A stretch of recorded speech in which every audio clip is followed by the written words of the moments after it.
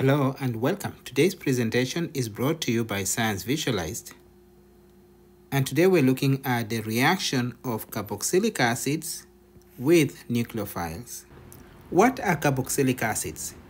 Carboxylic acids contain an alkyl group, that one which we will call R, a carbonyl compound here, so we'll call it carbon double bond oxygen, and an OH. In this case, the alkyl group is here, R, and then carbon double bond oxygen and an OH. Same thing here, the alkyl group is that, that will be the R, and here that will be the R. So I can represent all these structures by using a generic carboxylic acid, RC double bond O, OH. Now the question is how do they react with nucleophiles? So plus a nucleophile, and this is usually done under acidic conditions, or in some cases under basic conditions. What will end up happening is that the nucleophile, using its lone pair of electrons or a negative charge, will attack the electrophilic carbonyl carbon, and then at the same time, the double bond electrons will move to oxygen to become an O minus. Now you have an O minus there. You still have the OH there, but now you have connected the nucleophile to that carbon, and this is called a tetrahedral intermediate. Now, if this is under basic conditions, the next step will involve the minus charge on oxygen coming back to form a double bond, and at the same time, the OH group leaving as an OH minus, which will result in a double bond to that oxygen. And now we've lost the OH and we're only left with the nucleophile. So I'll go ahead and label this as under basic conditions.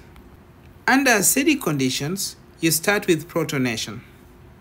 So remember, under acidic conditions, you have plenty of protons or hydrogen ions, and the first step will be the protonation of that oxygen. So it will connect to that hydrogen ion. And now you end up with protonated oxygen, which has a formal positive charge. The next step now will be the addition of the nucleophile. And now we cannot use a negatively charged nucleophile. We have to use lone pair of electrons on the nucleophile because it's under acidic conditions.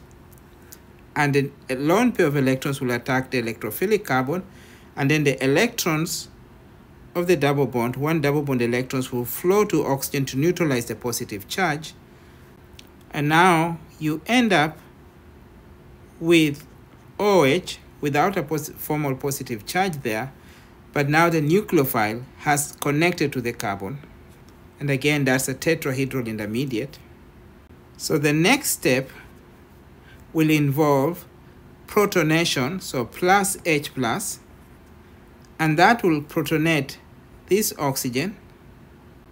And now you have that oxygen protonated, and therefore it has a formal positive charge. The next step will involve this lone pair of electrons coming back to form a double bond while kicking out water, which is now a stable leaving group. So this will give, now we have a double bond to that oxygen. We lost water, so the only thing we have now is a nucleophile here. But we still have the hydrogen connected to that oxygen and a formal positive charge on that oxygen. So the last step will be minus H plus. So you end up losing that proton and that will give you a neutral product. So we see that under both acidic and basic conditions, you end up replacing the OH at the acyl position with a nucleophile. So again, I'll write this reaction here. OH plus nucleophile and that will give you the product as RC double bond O and now at the acyl position you have the nucleophile. Now types of nucleophile. If you use water, H2O, that will lose one proton because it's a neutral nucleophile and you end up adding OH. If you use an alcohol, ROH, again you lose a proton, so you end up adding OR. If you use ammonia, NH3, you end up losing one hydrogen, and therefore you end up adding NH2. So that means if you use water as a nucleophile, you end up adding the OH, so you end up with a carboxylic acid as a product. So in this case, because we're studying carboxylic acid, then it doesn't change. But if you're starting with something like an acid chloride, where you have a halogen in this position, then you end up forming a carboxylic acid. If you use an alcohol, you add an OR, so you end up with an OR at that position, and that gives you an ester. If you use an uh, NH3 or primary or secondary amine, you end up losing one hydrogen, so you add NH2, and that gives you an amide as a product. Thank you very much for your time. Please support the channel by subscribing.